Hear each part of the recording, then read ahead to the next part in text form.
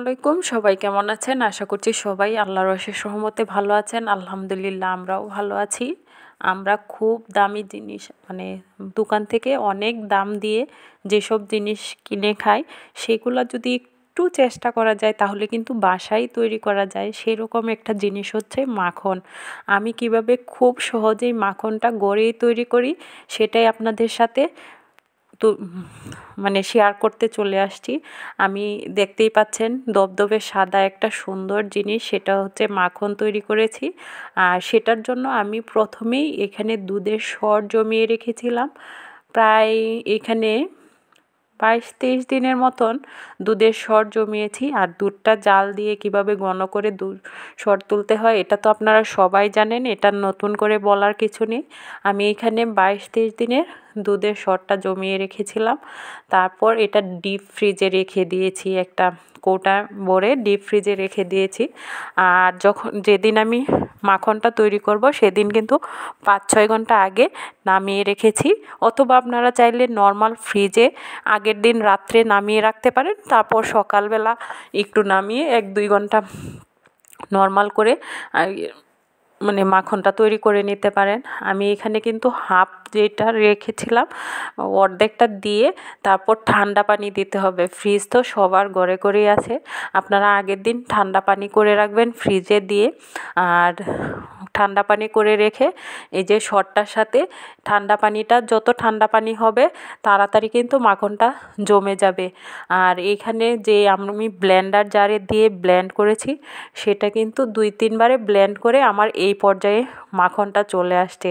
যখন দেখবেন মাখনটা এভাবে ব্লেন্ড করার পর এইরকম একটা মানে দানা হয়ে গেছে, দলা পেকে যাচ্ছে, তখন কিন্তু বোঝা যাবে যে মাখনটা আমার তৈরি হয়ে গেছে। আর আজকে আমি যেটা তৈরি করছি সেটা হচ্ছে নন সল্টেড মাখন বা বাটার নন সল্টেড বাটার যেটা, আর সল্টেড বাটারটাও আমি তৈরি করতে পারি, সেটা অন্য আরেকদিন শেয়ার করব। নন সল্টেড বাটারটা কীভাবে তৈরি করলাম, সেটাই আপনাদের সাথে শেয়ার করছি। এই যে আমি আবার, আমার যে বাকিটুকু ছিল, সেটাও দিয়ে দিয়েছি। দিয়ে এখন আবার ভালো করে ব্লেন্ড করে নেব। দুই তিনবার ব্লেন্ড করে অন অফ করে ব্লেন্ড করতে পারেন। আর যাদেরটা ওটু তাদেরটা তো অন অফ এমনিতেই হয়ে যাবে ব্লেন্ডারটা এই যে দেখেন আমার দুধটা আর সরটা একদম আলাদা হয়ে গেছে।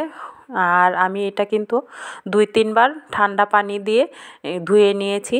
যত ঠান্ডা দেওয়া যায় আর হাতটা কিন্তু এ সময় জমে জমে আসে। এই যে দেখেন, আমার মাখনটা কিন্তু এখনই জমে আসছে।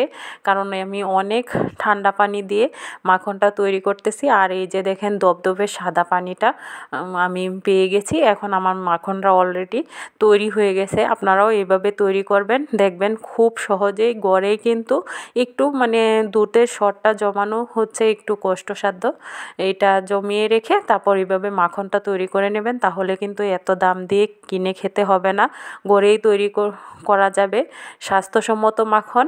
আর আর মাখনটা সেট করছি। আমি একটা কাগজ নিয়েছি। আমার যেহেতু ফয়েল পেপারটা ছিল না, সেই জন্য আমি একটা পলিথিন কাগজ দিয়ে একটা বাটিতে দিয়ে চেপে চেপে সেট করে নিচ্ছি। এভাবে দিয়ে তারপর পুরা রাত্র আপনারা ফ্রিজে রেখে দেবেন নর্মালে তাহলে আরও জমে যাবে। আর এখনও যারা আমার চ্যানেলটা সাবস্ক্রাইব করেন নাই প্লিজ সাবস্ক্রাইব করে পাশে থাকবেন লাইক কমেন্ট করবেন শেয়ার করতে ভুলবেন না প্রিয়জনদের সাথে। আর এটা আমার পেজেও যায়, যারা পেজটা দেখবেন অবশ্যই অবশ্যই ফলো করে দেবেন। আর আরেকটি কথা, খাবার কিন্তু কখনোই নষ্ট করবেন না। এই যে আমি এখন পলিথিনটা মুড়িয়ে তারপর নর্মাল ফ্রিজে সারা রাত্রের জন্য রেখে দেব। রেখে আরও শক্ত হয়ে যাবে মাখনটা, আর তখনই কিন্তু বোঝা যাবে এই যে আমার মাখনটা কিন্তু সারা রাত্র রেখে তারপরে আসছি, চলে আসছি মাখনটা কেটে দেখিয়ে দেব যে কতটুকু শক্ত হয়ে গেছে। আপনারা এভাবে মাখনটা তৈরি করবেন এবং খুব ভালো হবে। আর এটা হচ্ছে নন সল্টেড বাটার বা লবণ ছাড়া যেটা। আর সল্টেড বাটারটাও কীভাবে তৈরি করা হয় সেটাও নেক্সট টাইম আপনাদের সাথে শেয়ার করব। আবারও বলছি এখনও যারা আমার চ্যানেলটা সাবস্ক্রাইব করে নেয় প্লিজ সাবস্ক্রাইব করে দেবেন। আর এই যে দামি জিনিসটা কিন্তু খুব সহজেই তৈরি হয়ে গেছে গড়ে। একটু জাস্ট ইচ্ছার ব্যাপার আর কি, এই যে দেখেন কত সুন্দর একটা মাখন আমি গড়েই তৈরি করে ফেলেছি। আপনারাও এইভাবে ট্রাই করবেন। ভালো থাকবেন। আল্লাহ হাফেজ।